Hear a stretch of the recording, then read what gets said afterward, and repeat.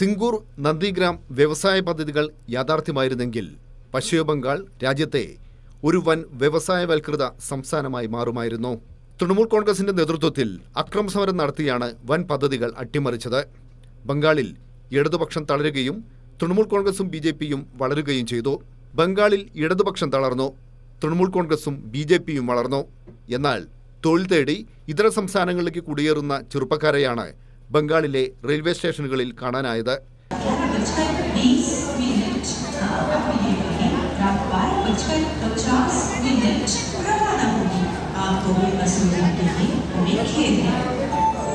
സിംഗൂർലി പ്രദേശത്ത് ഒരു വൻ കാർ നിർമ്മാണ കമ്പനി ആരംഭിക്കേണ്ടതായിരുന്നു. പദ്ധതി യാഥാർത്ഥ്യമായിരുന്നെങ്കിൽ പശ്ചിമ ബംഗാൾ രാജ്യത്തെ നമ്പർ വൺ വ്യവസായവൽകൃത സംസ്ഥാനമായി മാറുമായിരുന്നു. എന്നാൽ എല്ലാ കമ്മ്യൂണിസ്റ്റ് വിരുദ്ധ ശക്തികളും കൈകോർത്ത് പദ്ധതി അട്ടിമറിച്ചു.